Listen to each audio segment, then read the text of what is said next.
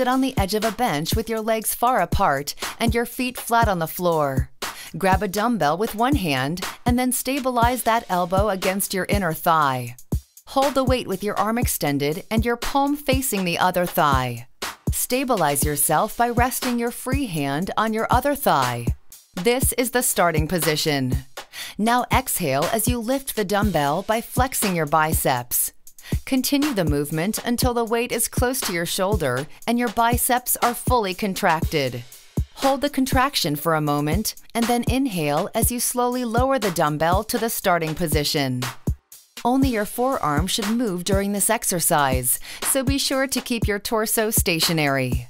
When you finish your reps on that arm, switch sides and repeat the movements with your other arm.